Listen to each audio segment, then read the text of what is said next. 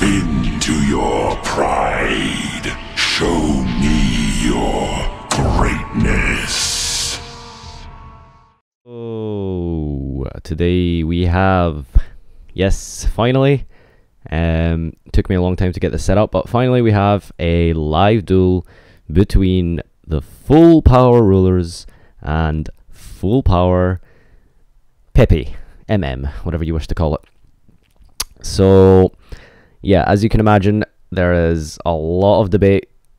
Uh, whenever a new sort of tier one deck comes out, you know, is it gonna stand up to rulers? Is it better than rulers? Now, on my channel, uh, if you've been following me for a while, you would have known that we do have already uh, a sort of full power MM deck, uh, but some cards were missing uh, because it was very early, like maybe not early, but it was a little earlier this year. Uh, and we only included Infinity, not things like Rafflesia or Notices. But here, uh, we're starting off, uh, and we've decided to let both players start with six cards. Uh, I don't know how you would think that would be the best way to do that. Should BOSH, uh, should the BOSH deck start with five cards because obviously BOSH format has five cards, or should we just go by ruler format and use six cards opening? But yeah. Um, Maxi, of course, was used, uh, and that is actually an extremely good card against uh, MM, at least on the Dragon Ruler side. Now, the Dragon Ruler side, of course, as you can imagine, has so much advantage by playing hand traps, and of course, being able to dig into the deck for those hand traps with things like Super Rejuvenation. Uh, one of the many, many pros of this deck. MM being forced to just uh, start with a bit of a um, awkward play because of the Maxi, uh, but it was good enough for the uh, just starting with Rafflesia. So we see two Dragon Rulers come down at this point uh, versus three back row. Uh, we know that one of the back row, uh, well, I can tell you that he has a Parallel Twister, which is obviously dead. Uh, we decided to not really, you know, tailor the decks for what's it called?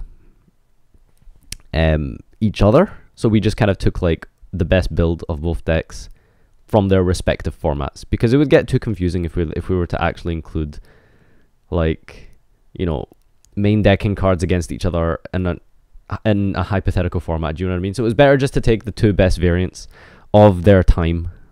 So Parallel Twister, of course, is staple three of, but you probably wouldn't play that against rulers.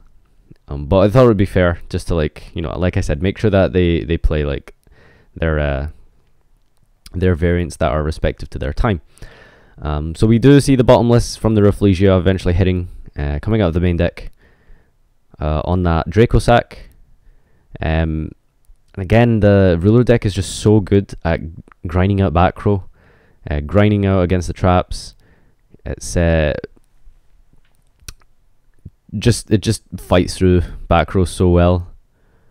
Um, and we see a warning as well on the final big dragon, and then the end phase of a rejuvenation. And again, it's just the deck. Like, you know, you'd think that he'd emptied his whole hand, and it's just irrelevant because, like, he just loads it all up again with hand traps, uh, digs for more power cards. You know, it's just complete like reload. Like, just you fire off a machine gun it runs out of bullets and you just reload and you're back to where you started. Like that's that's how you know some really powerful dragon rule players uh, ended up going. Uh, and you can see uh, three trap card or three effects were used on that turn and the ruler player is still on six cards. Uh, and again here we see on the on mm's turn just trying to go for that uh, uh, Crobat play with potentially you know more crazy things like um, uh, setting up for Infinity and stuff like that. Uh, but as you can imagine, um, the smart thing to do with the scales up was to be for another another preemptive maxi. So we've had two maxis. Uh, extremely annoying card because even if you want to attack through uh, and try attack for game, is uh, there's no way you can really like stop it uh, because we know that the rulers do play Scarecrow you know, it's not really too big of a worry. So um, just thinking about how to work out game here. He's got the hat tricker in hand, so that's that's probably going to come down. Uh, and it's like, okay, so he might have game on board with things like trapeze, but you know, is he going to give him another summon, uh, another draw with this hat tricker? So he summons this hat tricker, he draws again. Is he going to give him another draw? He will. Uh, for that maxi, and then it it goes into the scarecrow, and of course you can argue for things like potentially um, making infinity to negate that scarecrow, but you know you're also risking the Veiler on the Ptolemaeus, and that would be you know more wasted. Uh, what's it called? More wasted resources, more draws given, and you can see here even just making the Dweller, uh, with three big dragons in graveyard, you know that enough. Uh, that on its own is like very deadly. We can see the ruler player, like we said, grinding through three trap cards on uh, the first turn, and yet sitting there with a hand of like nine cards. Uh, and this is where a lot of like misplays happen and stuff from the rulers, uh, because you know they can a lot a lot of times with complex combo decks like this, you find people can mess up just because there's like too many options. Like sometimes too many options can be, you know, very taxing. You know, when you got to play through eleven rounds you got to stay concentrated. You got to make sure you're going to make the right play every turn. Um, but of course, you know, for the purposes of this, we kept things very casual. Uh, we made sure that things were very forgiving, so take backs and stuff were allowed, etc. Uh, because, like I said, this is an experiment to try find the better deck. It's not really, you know, we're not trying to test like who's the better player. We're trying to test, you know, what is the better deck. You know, so everyone is like kind of chipping in, trying to find out, you know, what what's the best play at this point uh, what's like uh, the better option to use, what's the best XE to make, etc. You know, all this kind of standard stuff. I'm just trying to figure out, you know, like what's what's best thing to do.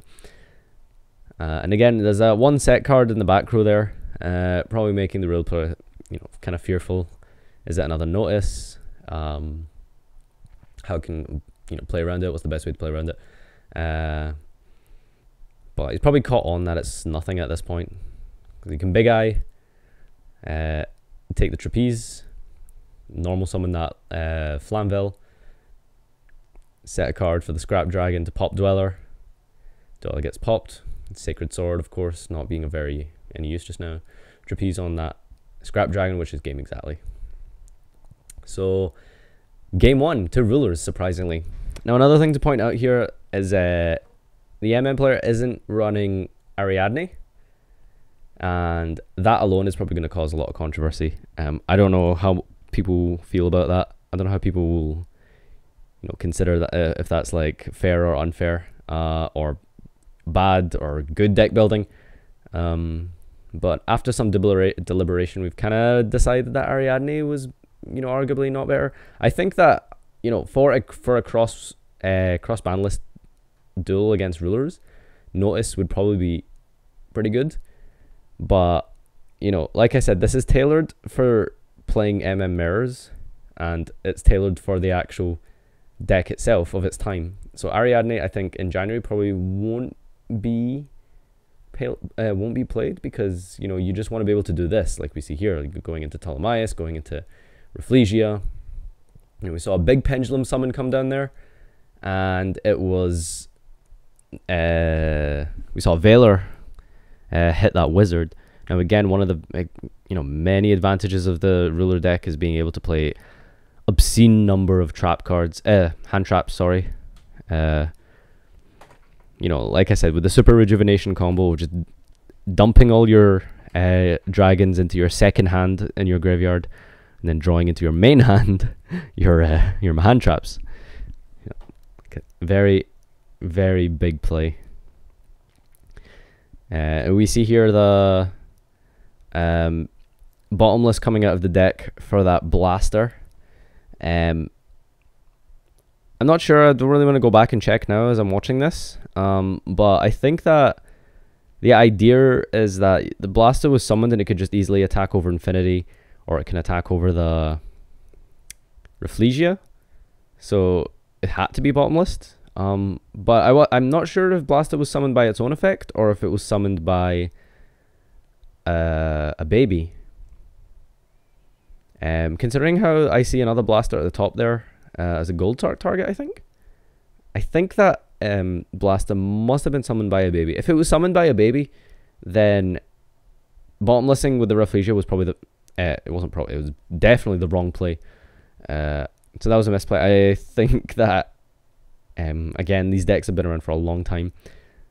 Uh, I'm just not sure like which one is uh, which card does which sometimes, and that was uh, many people might not know unless, of course, you played in that format extensively. Was that the babies stop that dragon from being able to attack? Uh, which I think went over a lot of our heads here because, you know, if that blaster isn't able to attack, then there's no point in bottomlessing it. Uh, and we see as well uh, after you know playing a couple test games of this and seeing these matches in action, uh, we've kind of come to the realization that against rulers, Infinity is actually not very good at all.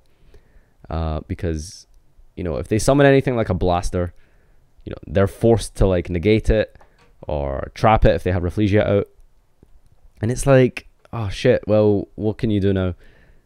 Uh, get big eyed. Like that's a very very dangerous situation to be in because yeah, Ptolemaeus is good and stuff, but it's like, well, if you make Ptolemaeus, then you know as long if you don't have protection for it, then you're just gonna get big eyed. And that's exactly what we see happen. So on the MM turn, the only real play is to like as many very good viable plays, unfortunately. The only option was to Archfiend the way the big guy. Sorry. You could probably argue why why not Archfiend pop the Infinity, and that's because, well, obviously Infinity would just negate the Archfiend. And then you're still stuck with two monsters in the field, whereas if he pops Big Eye, you know, he's probably not going to be inclined to use his last negate. Probably doesn't care because, you know, he does have a full graveyard. It's not too much of a big problem.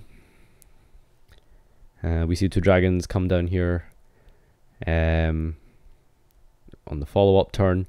Uh, we saw a set card, and I can't remember what it is at this point. Uh, not too sure. I think, uh, yeah, I have no idea what that is. But attack over the Rafflesia to make sure that Dracossack doesn't get time space from deck. Uh, yeah, and the Wavering Eyes was the set back row, and that gets popped. So two old dragon rulers. Yep, that is that is definitely definitely strange. We didn't think it would go this, you know, far into their favor, but you know, the, it's it's really the hand traps have been putting in so much work. You know, they've really really been winning the games here. Um, MM starting up Draco plush fire combo. Uh, to be honest, like you could argue Draco plush fire isn't even you know that amazing when you have things like monkeyboard and stuff in this format. You have things like uh yeah, just your monkeyboard wee turtle combo with like a wizard in hand is probably better than like plush fire. We see uh the first turn uh, you know we have a really strong first turn here. Dweller Rafflesia is uh you know really really good first turn play against them uh, rulers instead of going for that Ptolemaeus which we uh, realized is honestly a really poor play. Uh, the Ptolemaeus is not good enough, to be honest, uh, against rulers. Just because the the the way the ruler the the ruler uh like playstyle mechanics of rulers is based all on like special summoning, big guys. You know, so you're gonna be forced to like negate a ruler and then you negate it, it gets destroyed, sure, whatever. And then they trigger two other rulers that they've banished and then add those to their hand and it's like you've you've wasted your one solemn judgment on like a summon of a ruler do you know what i mean so infinity definitely not good against rulers um not not terrible like infinity is probably something you want to make when they don't have six cards when they don't start with six cards yeah, that's probably like you know what we consider to be the, you know, the correct thing and we see Rafflesia not using her effect uh, I think uh, we were kindly reminded at this point that uh, Dragon Ruler summoned through babies can't attack, uh, which was uh, probably not too much of a big deal in that format. Um, but of course it is here. Now, Dracossack coming down to force the Rafflesia. Um, and of course, the rulers go to graveyard. Dracossack gets banished. Um, you know, but we do have the follow up play. Of course, it's always a follow up play with rulers. um, so Tempest comes out. It's gonna search. Uh, I think that's a Flamvell. Um, sorry for a little bit of a glare issue. But yeah, we are gonna see like more, um, more options. Uh, it's not the nutty crazy ruler thing that we're used to seeing, um, because we do have a really big field here to deal with. Uh, that dweller, uh, I don't think that has any materials anymore, so it's not too much of a worry. So really, the only option here would be to probably just like, uh, I guess summon another dragon, attack over that clown, attack over potentially King of the Feral uh, probably Rafflesia. Um, just make Dracossack, pop Feral or you probably do that the other way around actually, attack over Feral and pop Rafflesia, get some damage in. Uh, or maybe pop a scale. Um, I think that's actually what goes down. Uh, oh no no we don't see another. Yeah we see a dragon but not an overload. We see a synchro instead. Yeah so there's a Flamvell searched out from the blaster. Uh, attack over some dudes, and then um, scrap dragon effect. Uh, probably pop the scale. sorry. Popping a scale probably the, the better thing to do here. Yeah, and keep the Dracoslayer up. Um, the reason for that is because if you pop the other thing, the Performapal, that means you leave a Performapal in the scale, whereas if you leave a Draco, uh, Dracoslayer in the scale, um, things like Monkeyboard are pretty much dead. Uh, because I think Monkeyboard becomes a scale 1 if you have... Uh, what's it called? If you have a Performapal on the other scale, on the other scale, um, whereas if you have a Dracoslayer, then it kind of makes it dead. Uh, and we see we ha he has three cards in hand, um, and they're all high skills, So you see that Guitartle, I think, is skill six, and then the, he's got Lizardraw as well. I believe that's skill six as well.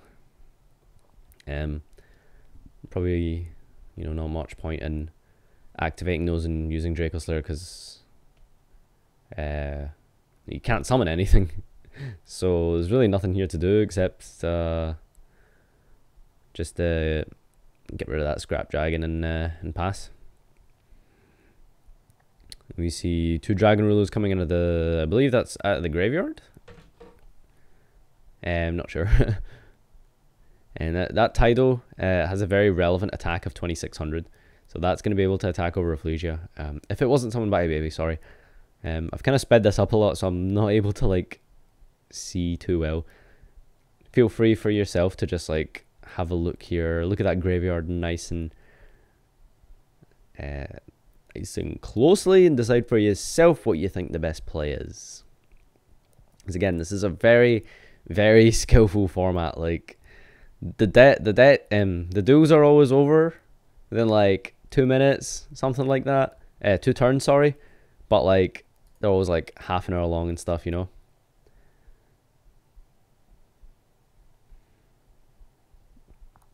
Um, combo decks like Dragon Rulers, Necros, Performapals.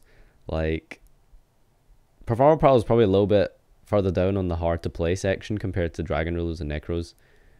Uh, but of course, like a very you know skillful deck.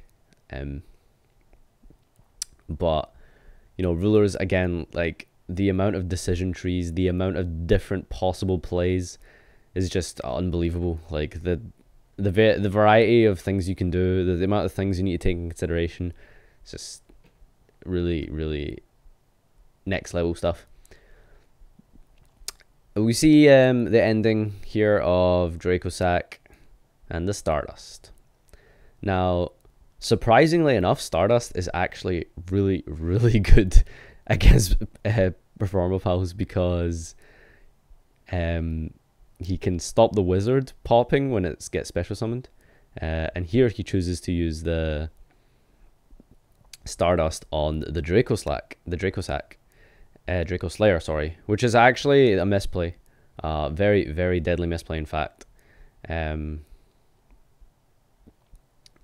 again, we're just sort of being forgiving with the right plays and stuff. So, uh, using the Lizardraw before Pendulum Summoning, uh, Lizard Draw happening to top deck Skull Crobat, Skull Crobat, of course, getting, uh, I think, Keyboard or, no, Guitar, Guitar. Now we have the Pendulum Summon for four. And we see some really, really amazing plays here. Uh, very exciting stuff.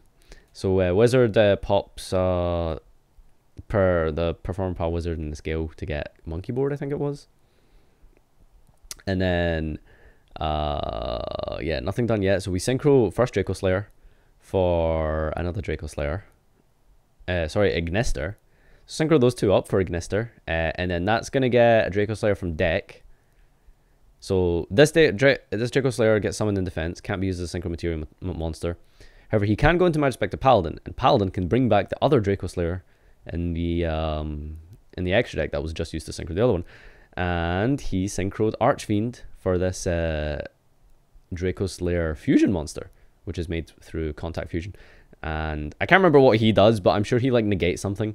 And of course, we have two Ignisters on the field, and he's able to like shuffle away, um, shuffle away Dracossack, and shuffle away a token, uh, and hit for game. I I believe that's game. Yeah, so really, really silly, silly plays being uh, shown there. Just the amount of uh, potent combos that are accessible by Pepe uh, through the Dracoslayers is like really really good. Um, but like I said, uh, that Stardust uh, probably should have been used differently. Um, it would have been better to just have left the Dracoslayer to use the effect, uh, and then probably Stardust would negate the Wizard on the summon rather than negating the Dracoslayer in the Pendulum Scale. Uh, and here we see um, some uh, baby ruler plays, etc. going down. Uh, there's a tribute summoned Redox over a discarded baby special summon of something.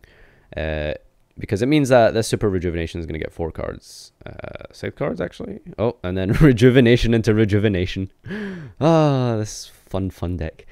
Um, yeah, so when a card is tributed by Dragon Rulers, they're still able to, like, um, count that towards the thingy. Uh, pff, can't remember what I'm saying now. Count that towards the rejuvenation count of the draws. Yes, that's that's what I'm talking about. Yep. So, uh, Dracoslayer two tokens, uh, double rejuvenation. So just waiting in the end phase, deciding what to ditch out the hand, uh, ditching emptiness because of course that's not going to be a good card in the end phase. Uh, monkeyboard activated to get Crobat. Crobat getting um, probably uh, what's that thing called? Turtle. Yeah. Uh, and it was uh, just as an interesting point to highlight.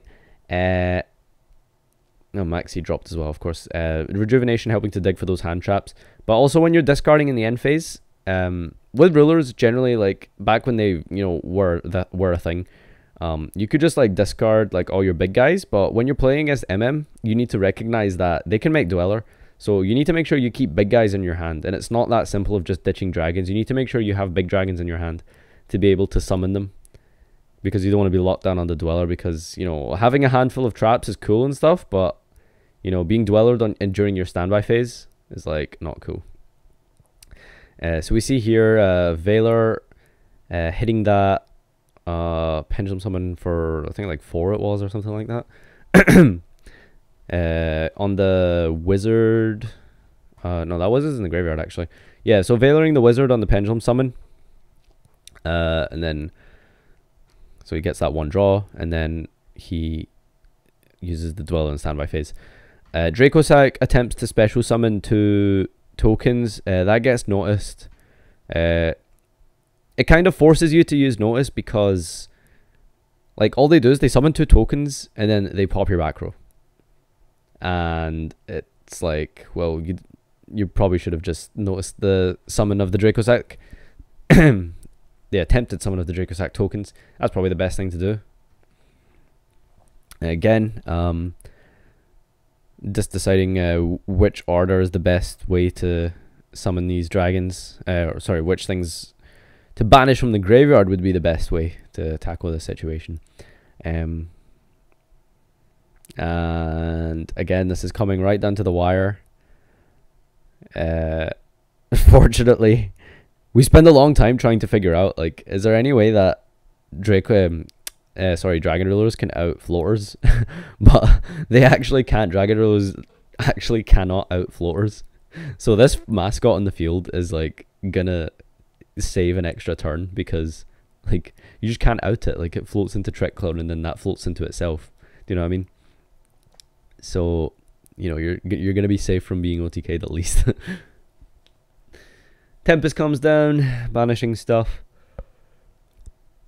Gonna get get some big bellies out of the the deck for that. I think I'm not sure. I think we probably. Uh, I think he changes what cards he banished as well. I'm not sure. Tempest is man. He's definitely not the best dragon ruler. He's so small and he's sorry, I'm just talking shit right now because it's been like a half hour do. But it was pretty exciting to watch. Not gonna lie, like seeing these like high sk- high skill formats is always like super super fun. Like seeing Dragon Rulers in action, like man, I, I know for a fact I would not be good enough to be able to play this stuff up, you know, full power, high level play like this. Like it's really some stupidly thought provoking plays and stuff that need to be put through. You know, you gotta think about every single special summon you do. So much shit you gotta play around. Probably not so much in this format. Like the ruler mirror is like obviously like crazy. See the overlay here. Uh, for Dracossack, that gets warninged. Um, probably like was the better thing to do is just like warning the Dracossack. Um, I mean, you got to force it out, right? Uh, and you're probably not gonna get killed because, um, you know, you've you've you've got that Dracossack if they if they have nothing for it, and if they do have something for it, well, you can just uh, you know keep going off with all those dragons. Uh, so again, uh, deciding what to synchro in for ending. Scrap Dragon, popping a scale, setting a card, and that's gonna be uh, GG because that set card is, well, as you can imagine, one of the best set cards you'd want to have at this stage. uh, so activation activation of the turtle. Uh, sorry, not turtle, the monkey. The monkey gets a guy, and then we have the emptiness.